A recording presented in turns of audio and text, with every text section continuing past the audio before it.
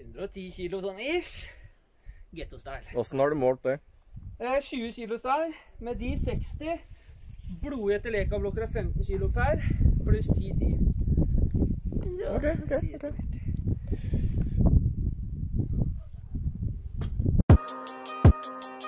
Yeah, I'm like, oh God, oh, oh my God. Bitch, I run the game, y'all just commentate from the side. I'm like, oh God, oh.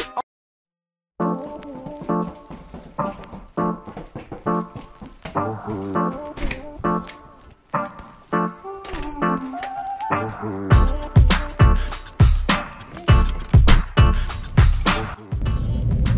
Alexander og Maria fra Flamingo Fitness. Vi er ute på tur. Vi skal til Ulrik i crewet.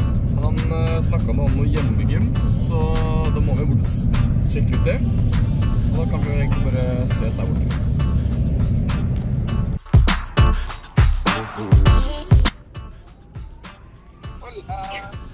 Hallo.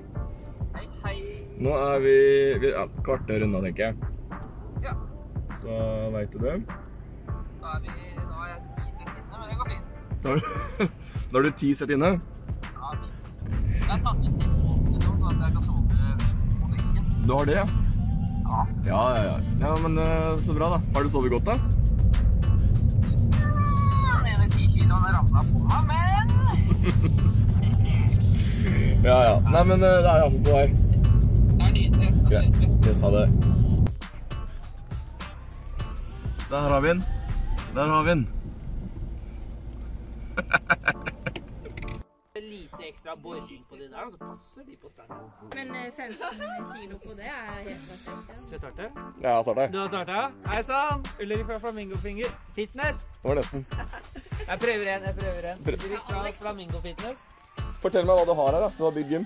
Jeg har bygd meg en nydelig getto, getto, getto-gym. Og her skal jeg si deg, her kan vi få til mye. Vi starter med powerlifting. Da tar vi min nye benk. Ikke helt funksjonell, men den funker. Vi kan også ta stanga opp hit. Så har vi flyttet en squat. Perfekt. Trenger ikke å si så mye om hva som skjer på bakken, for da er det mark uansett hva vi gjør. Det er ikke noe problem. Det er liksom powerlifting-øvelsene, samtidig som at uh, du kan også bruke den her til skulderpress, litt mer strongman-aktig. Elsker det. Og så har du min nydelige idé, som jeg fant på i går. Nå er jeg spent. trenger faktisk ikke mer enn bare to planker. Enkelt og gærlig. Så har du seriøst en dipsmaskin, alt. Du kan trene alt, du. Jeg kan trene alt. Så bra. Du kan til og med komme meg på akkurat Ikke denne veien. Her kan du gjøre mye. Så gøy. Jeg kaller det flamingo ghetto gym. Flamingo gettogym. Så bra. Nå har jo Ulrik forklart hva vi, skal, eller hva vi har. Så jeg skal i hvert fall trene skuldre i dag. Så du være med på det? Jeg skal ha skuldre i dag. Skal du være med? Så bra. Eh, hva skal vi starte med? Jeg tenker vi skal starte med litt eh, pin, eh, pin stop shoulder press stang. Siden vi skal bruke gettoen på annethvert. Og se egentlig hva vi kommer opp til for en solid treer, da. Ja. Det er gøy. Ja, da prøver vi på det. Bra.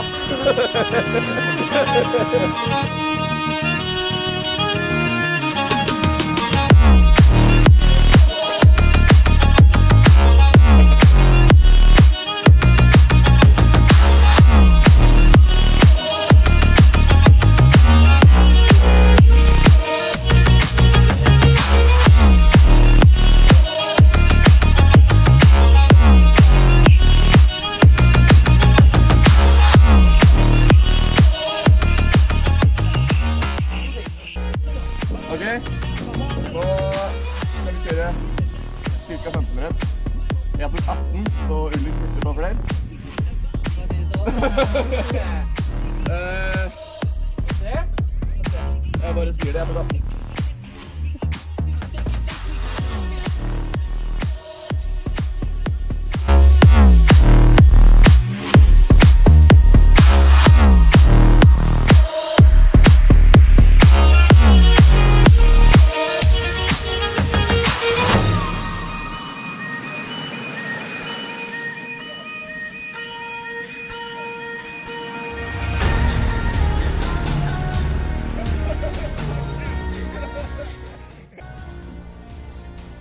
Her, vet du. Rema 1000-pose med en 10 kilo si. Det her er strongman-type. Jeg er jævlig spent. Jeg kommer sikkert til å hate det etterpå, men uh, det går bra. Det er en liten Jeg håper at du kan eh, demonstrere, for det her kommer ikke jeg til å skjønne nå. Så bra. Det du gjør nå, er at du lager en mer ubalanse i løftet. Her må du stabilisere mye mer med jointsa dine okay. og corneren for å få til forhåndsløp. Ja. Prøve å starte på vanskeligste sida så det er litt lettere for dere å se. Ja, få se.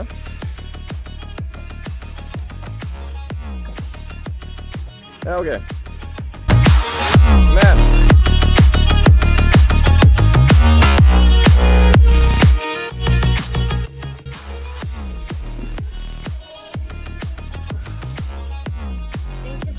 så tar vi en sånn koronamakk. Sånn.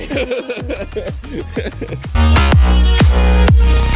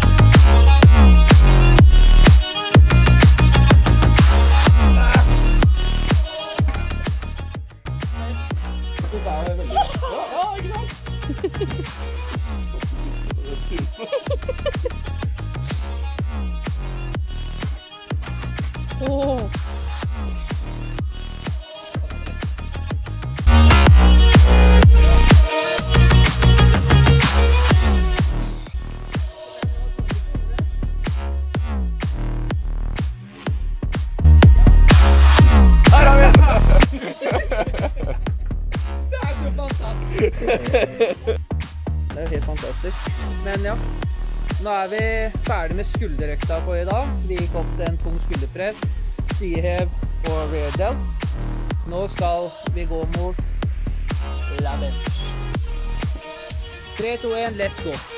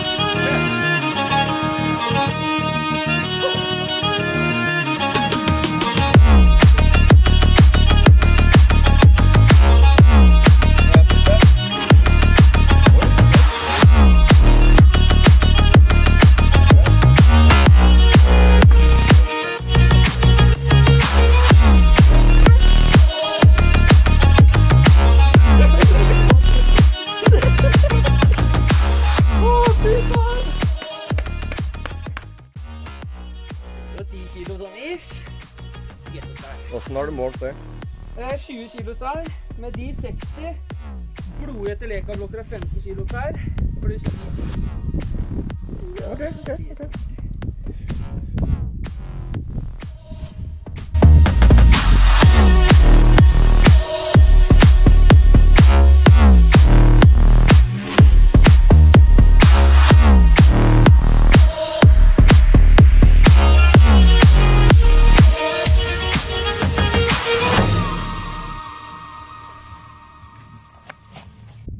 ok. er vi ferdige, ass. Ulrik? Er dere ferdige? Jeg er ferdig, ass. Altså, fornøyde med det her. Og så se på det setupet han har gjort. Han, vi har egen flamingo-gym, vi nå. Og så har vi en slags markløft Uh, Det der er sånn de gjorde på 1970-tallet. Hvis du ikke hadde gym, du hadde noe jobbe. Det er det han sier, i hvert fall. Nei, men vi er ferdige. Så jeg vil egentlig bare si takk for at dere så på, og vi ses neste gang. Ha det. Ha det. Ha det!